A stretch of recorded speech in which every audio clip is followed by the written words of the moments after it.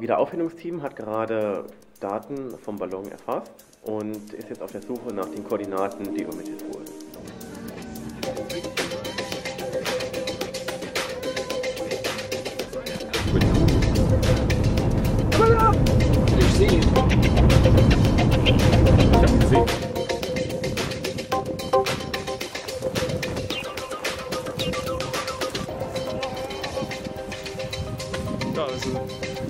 Saubere Landung, ne?